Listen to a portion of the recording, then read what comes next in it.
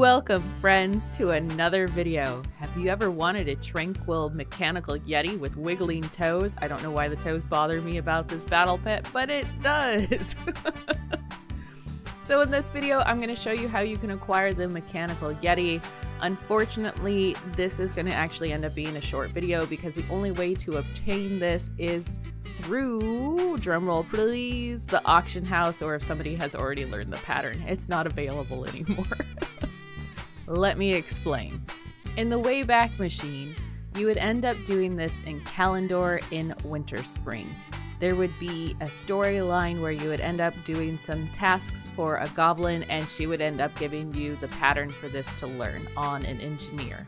The starting quest to obtain the pattern actually still exists. It's called Are We There Yeti, and it requires you to collect 10 thick Yeti furs. When you turn in this quest, it gives you the following quest, Yeti Phobia. This would have originally given you the pattern for the Yeti, but now it ends up just giving you a mechanical Yeti that you can summon and it will protect you for 10 minutes, but it only has three charges. So it was replaced with this. I'm not sure why the pattern doesn't exist anymore, but this is all you get if you try to do the quest here.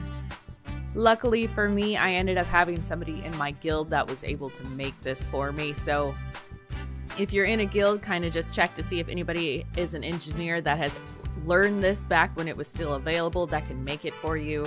If not, we are going to have to do our usual and boogie and scoot to the auction house.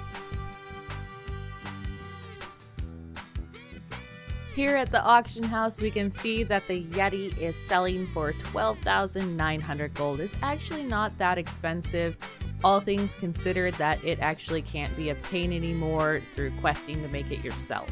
Well, that's it. That's how you acquire the Tranquil Mechanical Yeti. Sorry, it's not something super simple like just farming it, but you know, sometimes that's how it is with these battle pets. It feels like they come and go whenever Blizzard feels like adding them or removing them. I do hope you are able to obtain this Tranquil Yeti for you, even though his wiggly toes are still kind of weird to me. Not sure why, it's just, it seems menacing. but that's it for this video.